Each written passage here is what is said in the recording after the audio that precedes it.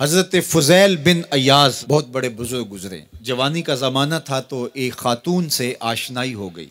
मोहब्बत का रब्त कायम हो गया। तो ज़ाहिर जवानी मस्तानी होती है और जुनून का एक शोबा कहा गया है जवानी को। और फिर दिल में इस तरह के रुझान पैदा हो जाएँ तो फिर वो जुनून कई गुना बढ़ जाता है। तो उसके साथ वक्त तय किया और उसके मिलने के लिए बेताबी के साथ उन घड़ियों का, उन लम्हों का इंतज़ार करने लगे। खैर, जब वो वक्त आया तो उसके घर की तरफ़ चले और उसके घर की दीवार फलांगने लगे थे कि साथ वाले मकान से किसी कार्य कुरान की तिलावत की आवाज़ कानों में पड़ी और वो पढ़ क्या रहा था? अलम यान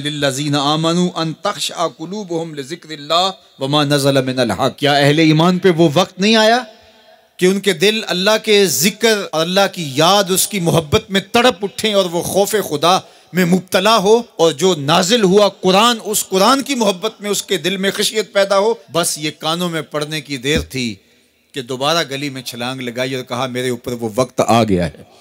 और जंगलों को रोते हुए निकले और हज़रत फ़ुज़ैल बिन अयाज फिर वलियों के इमाम करार पाए। इस आयत ने उनकी ज़िंदगी बदल दी। किसी की तीस साल, किसी की चालीस बरस, किसी की पचास साल, किसी की साठ साल, ज़िंदगी यहाँ मौजूद लोगों में से किसी की इससे भी ज़्यादा और किसी की कम। इस आयत करीमा को ज़रा अपने ऊपर वारद करें। तो अल्लाह हमें नसीब कर दे कि हमारे दिल तेरे खौफ से काँप उठे और तेरी खशियत से हमारे दिल लर्ज उठें और कुरान के साथ हमारा रब्त मज़बूत और मुस्तकम हो जाए और हम ये इकरार करते हुए तेरे हुजूर हाजिर हो जाएँ। मालिक, वो वक्त आ गया है कि हमारे दिल तेरी याद से, तेरी मोहब्बत से, तेरे प्यार से माला माल हो गए।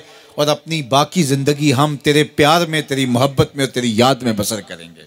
हदीस पाक में आता है कि अगर कोई शख्स अल्लाह के खौफ से रोया और अल्लाह के खौफ से रोने की वजह से उसकी पलकों के बालों में से एक बाल की जड़ गीली हो गई तो क़यामत के दिन वो बाल खड़ा हो जाएगा, अल्लाह, या तो मुझे निकाल ले या इसे जन्नत अता फरमा दे। तो अल्लाह जल्ला शानू उस बाल को तो आँख से नहीं नोचेगा, बल्कि उस शख्स को अल्लाह जन्नत अता फरमा देगा। अल्लाह अकबर। गुनागार की आँख का पानी अल्लाह के गुस्से की आग को ठंडा कर देता है। इसलिए हमें रोने का कहा गया फल यदहकू कलीलन वल यबकू कसीरा।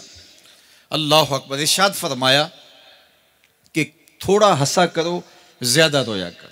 सहाबा को हँसते हुए देखा। तो आका करीम इस्लाम ने फरमाया कि तुम्हारे तक अल्लाह की अमान नहीं पहुँची और तुम हंस रहे हो। अर्ज़ की हजूर, इसका कुफारा। तो फरमा इसका कुफारा ये है कि जितना हंसे हो, इतना ही तुम्हें रोना पड़ेगा। मैं और आप ज़रा अपनी ज़िंदगी पर गौर व तदब्बर करें। हमारी ज़िंदगी में हंसना ज़्यादा है या रोना ज़्यादा है? सवेर से लेकर शाम तक कह कहे ज़्यादा हैं, ठट्ठे ज़्यादा हैं, मज़ाक ज़्यादा हैं, लतीफ़े ज़्यादा हैं या इबरतें ज़्यादा हैं? तफक्र ज़्यादा है, तदब्बर ज़्यादा है, सोच विचार ज़्यादा है, याद इलाही में तड़पना ज़्यादा है, आँखों से याद खुदा में बहने वाले आँसू ज़्यादा हैं या गफलत से फूटते हुए कह कहे ज़्यादा है।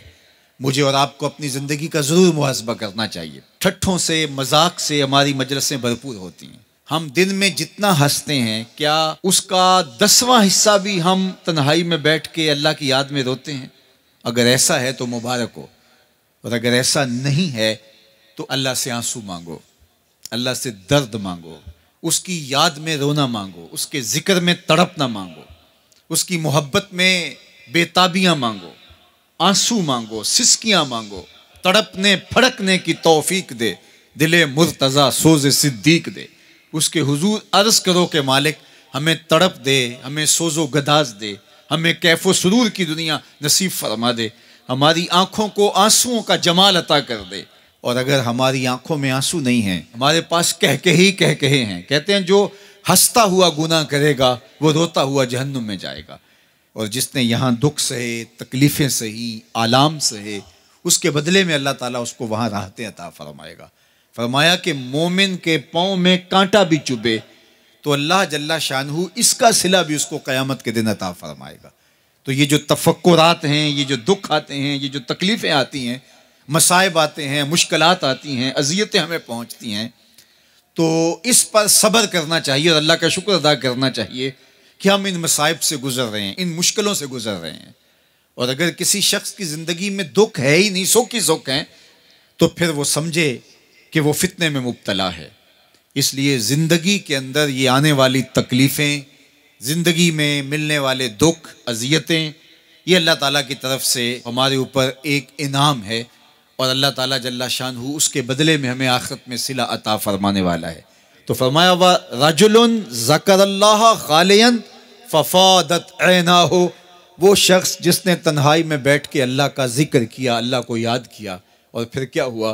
फरमाया, उसकी आँखों से आँसू टपकने लगे।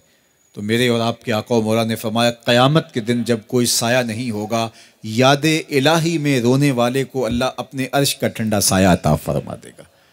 तो ये रोना बहुत बड़ी दौलत है, ये बहुत बड़ी सआदत है।